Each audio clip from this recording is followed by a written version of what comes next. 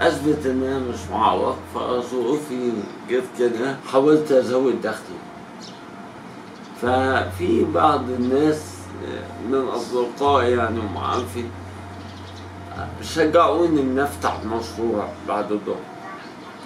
فأنا جمعت مبلغ وهم ساعدوني بمبلغ وفتحت محل عبارة عن بقاله محل صغير المشروع ده فعملت القرض من الوظيفة من بنك القاهرة فرع الأوقاف عملت القرض وكبرت المشروع. الكلام ده كان قبل الثورة. والمشروع الحمد لله ابتدى يبقى كويس. جت الثورة. الثورة كانت منفعة آه الناس.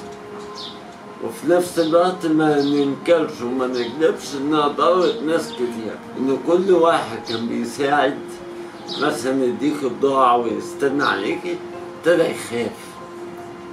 عايز يديك بضاعة وياخد كان فاضل له سنة ويخلص. جددته من أول وجديد وأخدت تلاتين ألف. بعد سنة من القرض خدت قرض تاني من بنك اسكندرية فرع نادي الصيد فدي كانت غلطة لأن مفيش موظف بياخد قرضين بس هي غلطة عدت على الموظف بتاع البنك